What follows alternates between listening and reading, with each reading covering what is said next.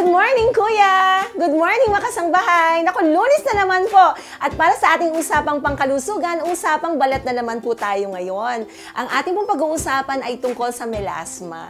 Ang melasma po, nako, ito, sorry, medyo mahirap gamutin, pero ito nga po yung mga nakikita natin ng mga nangingiti, mga pigmentary disorders po, nakikita natin ng mga pigmentations po sa mga, most commonly po sa mukha, okay? Lalo na po dito sa apples of the cheek, kung medyo matangos po ang ilong dito sa may balingusan, yung iba po na medyo prominent ang kanilang uh, noo, o kaya po chin doon po.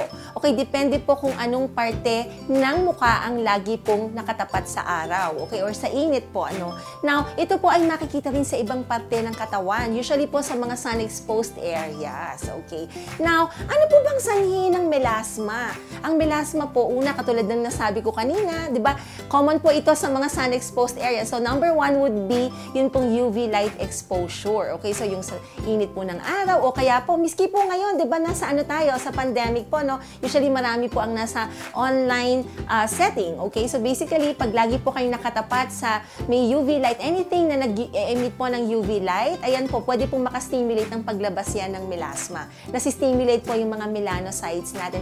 Ito po yung mga cells na nagpo-form po ng dark pigment para mag-produce po ng dark pigment nga. Okay? So, yun po. And they appear to have, this appears po as like mga pigment, ano, pigmentation po dito sa mga prominent areas of the face or sa katawan po. Now, another one would be yung hormones. Okay? So, ito po lalo na po yung female hormones. No? Kung kaya marami pong nagsasabi na, naku, nung buntis ako o kaya pagkapanganak ko, tsaka lumabas ito.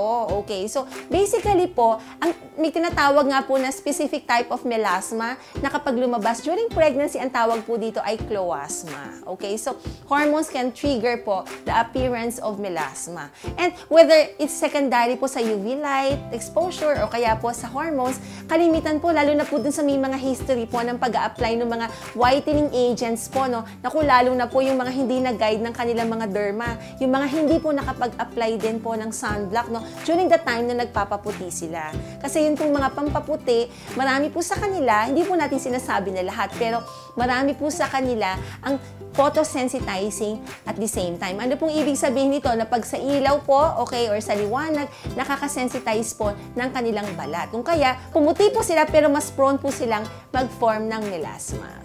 Ang una po natin gagawin first, bakit nga ho ba kailangan ma-identify ano ba yung naging sanhi, bakit lumabas yung melasma nyo? Siyempre kasi pag hormones, wala ka namang uh, magagawa na doon. Now, ikaw ba ay nakagamit itong mga photosensitizing uh, uh, topical medications ito? Kasi kung kayo po ay nakagamit, okay? And then, siyempre, kailangan din nating i-check yung history. Ano po ba yung klase ng trabaho or hanap buhay na meron kayo, no? Kung kayo po ay na-expose sa sun, maganda po, ihinto nyo muna po yung mga ginagamit nyo na ito. Okay? And then, of course, na-mention natin yung natatapat sa araw.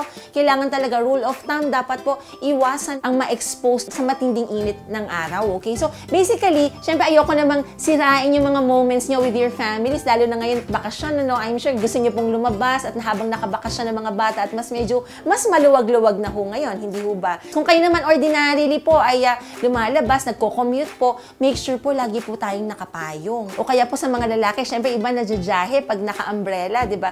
O kahit nakakapo or anything that can provide physical blockade of uh, direct sun exposure will really help hindi lamang po ang diretsong exposure po sa sun. Even po yung, yung heat, no, yung kung mga nagluluto, ingat din po tayo. Kasi syempre yung init po no, ng pagluluto, ayan po ay na-expose din po yung ating balat at nasi-stimulate pa rin po yung mga melanocytes para mag-produce po ng dark pigment. I really advise yung mga kasambahay to please visit your dermatologist para at least yung perfect po ng mga gamot para makatulong sa pag-treat ng melasma nyo ang maibigay sa inyo. Plus, kung kayo po ay talagang kailangan na po talagang ma ma-improve ang melasma nyo, may mga ma-offer din po sila sa inyong mga procedures. So from simple peeling, sa mga lasers po, or stem cell administration po, with the use of mga uh, fractional needles, pwede rin po yun. So at least you get to know your options kapag kausap nyo ang inyong mga dermatologist.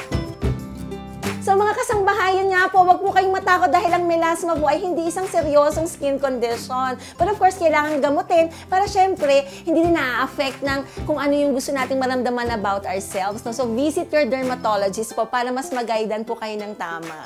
Okay, muli po, maraming salamat sa inyo. Ito po si Dr. Sara Barba Cabudil na nagpapaalalang alagaan natin ang ating mga balat because our skin is a reflection of what's going on inside our body. Thank you po!